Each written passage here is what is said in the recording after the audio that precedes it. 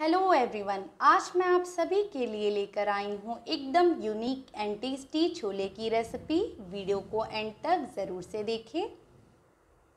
यहाँ पर मैंने 200 ग्राम छोले ले लिए हैं। अब इसे एक बाउल में डाल देंगे। अच्छे से दो तीन पानी से वॉश कर लेंगे। अब इसमें हम पानी डाल देंगे और सात से आठ घंटे सोख हो जाने देंगे। मैं इसे ओवरनाइट सोख कर रही हूँ। हमारे छोले अच्छे से सोख हो चुके हैं। इसके पानी को छान ले। अब एक कोई सा भी कपड़ा ले ले और हाफ़ टी स्पून चाय पत्ती डाल देंगे। हम पोटली रेडी कर रहे हैं छोले में डालने के लिए।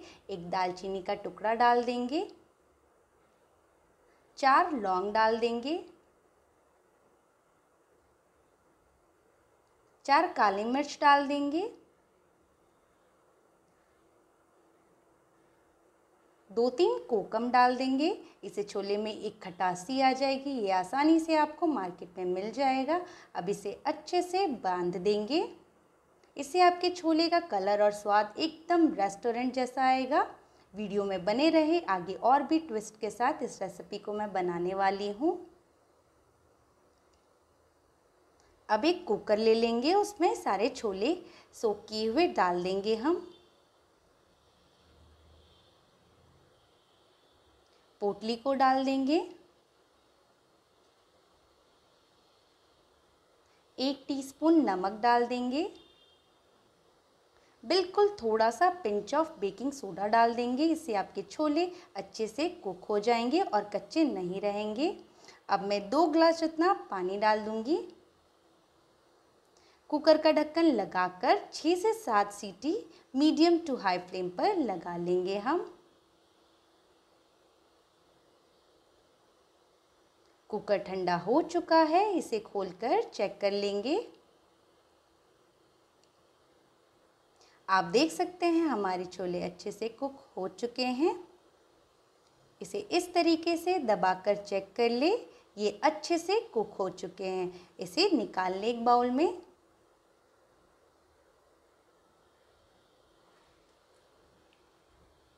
अब एक पैन ले लेंगे। पाँच स्पून तेल डाल दें। अब एक तेज पत्ता डाल देंगे। एक टुकड़ा दालचीनी का डाल देंगे। दो हरी इलायची डाल देंगे। चार लौंग डाल देंगे।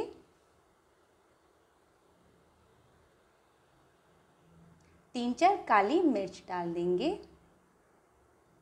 दो खड़ा लाल मिर्च डाल देंगे। थोड़ी देर भून लेंगे।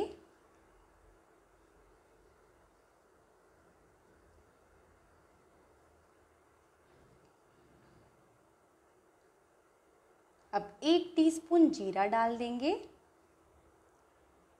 एक चौथाई टीस्पून हिंग डाल देंगे।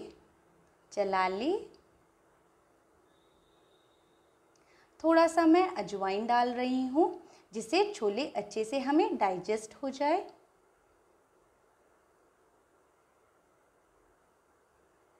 अब मैं अदरक और मिर्ची को कूट कर इसका पेस्ट बनाकर डाल रही हूँ। अच्छे से भून लेंगे थोड़ी देर।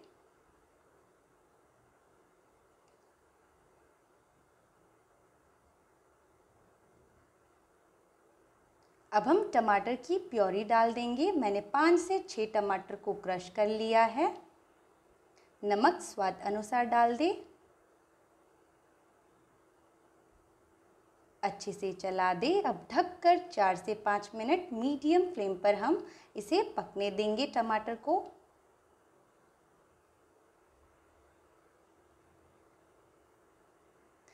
पाँच मिनट बाद हमारे टमाटर थोड़े पक चुके हैं। अब मसाला कर लेंगे।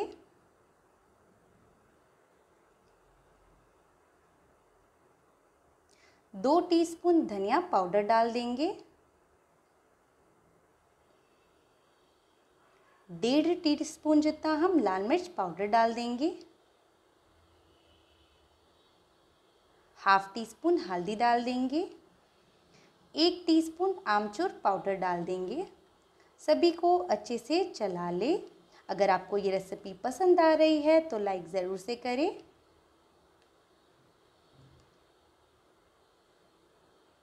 अब ढक कर मीडियम फ्लेम पर जब तक ग्रेवी गाढ़ी नहीं हो जाती पका ले बीच बीच में चलाते रहे।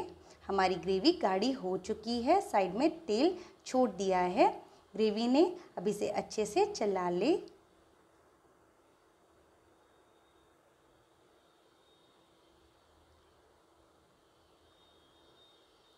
अब मैंने थोड़े छोले को मैश कर लिया है, इसे ग्रेवी में डाल देंगे।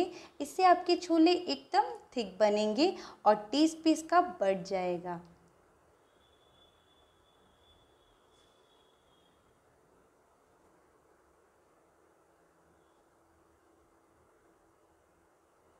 अगर अभी तक आपने मेरे चैनल को सब्सक्राइब नहीं किया तो ज़रूर से सब्सक्राइब कर ले।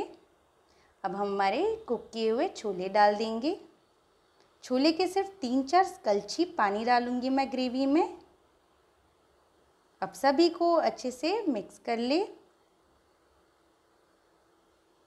ढककर पाँच minute medium to low flame पर पका लेंगे।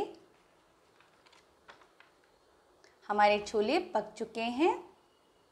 अब हम हाफ़ टी स्पून जितना इसमें गरम मसाला डाल देंगे।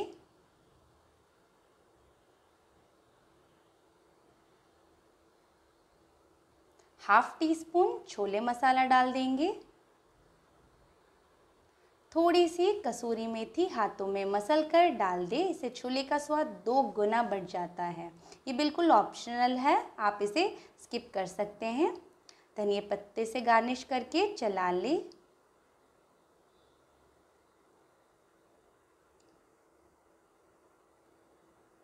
अब इसमें हम ऊपर से तड़का लगा लेंगे।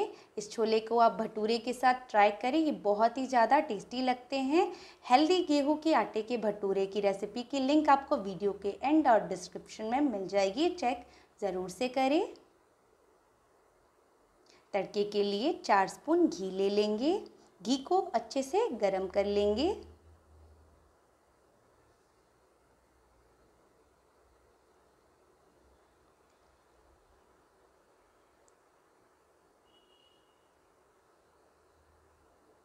हाफ़ टी स्पून हिंग डाल दें। अदरक के पतले लाछे डाल देंगे। इससे छोले का स्वाद बहुत ही ज़्यादा बढ़ जाएगा। फ्लेम ऑफ़ कर देंगे अब।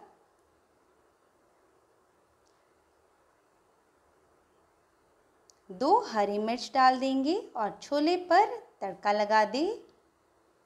हमारा टेस्टी छोले बनकर रेडी है। गर्मा गर्म इसे सर्व कर ले। आई होप की रेसिपी आपको ज़रूर से पसंद आई होगी। अगर पसंद आई हो तो वीडियो को लाइक ज़रूर से करें शेयर करें और मेरे चैनल को सब्सक्राइब करना ना भूलें। नोटिफिकेशन बेल ज़रूर से दबाएँ ताकि मेरी हर रेसिपी आप तक पहुँचती रहे। Thank you so much for your time and watching this video